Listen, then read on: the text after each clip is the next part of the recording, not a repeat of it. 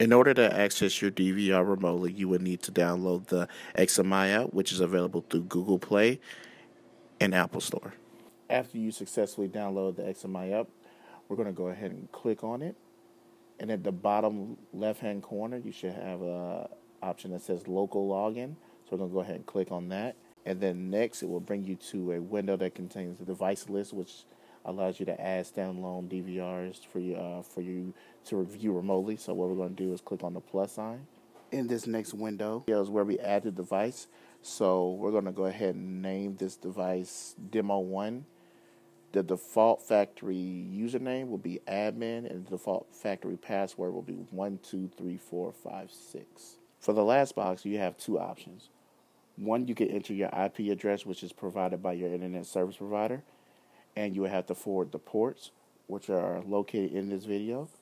The web port is 80, media port is 34567, and mobile port is 34599.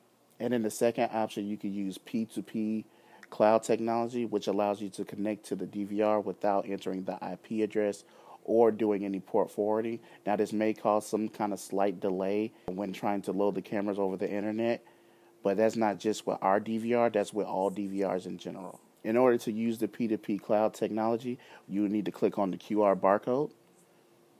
And once you click on that, you will need access to your monitor, mouse, and DVR. Once you have access to that, you will right click anywhere on the screen and you will click on the icon that looks like a person. And in the next window, you will click on Next. And you would do the same thing for the next window. Then you will click on Skip and then in the next window you will click on next. And lastly, in the next window, you will have the your standalone DVR's QR barcode, in which you can scan with your iPhone or your Android phone after pressing the QR function button. Now, this is just me using my iPhone to scan the QR barcode with my cell phone. And just like that, the serial number will pop up in the last option box.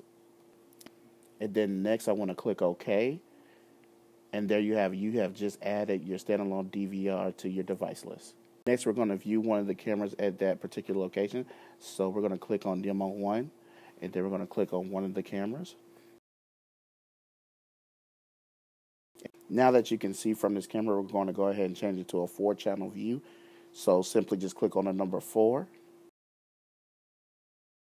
And to put it in full screen mode, you want to click on the top right icon or you could just turn your phone horizontally and then it'll automatically go to into full screen mode. And there you have it. You have just viewed your cameras remotely through the XMEYE app. And thank you for choosing iLink Professionals as your service provider.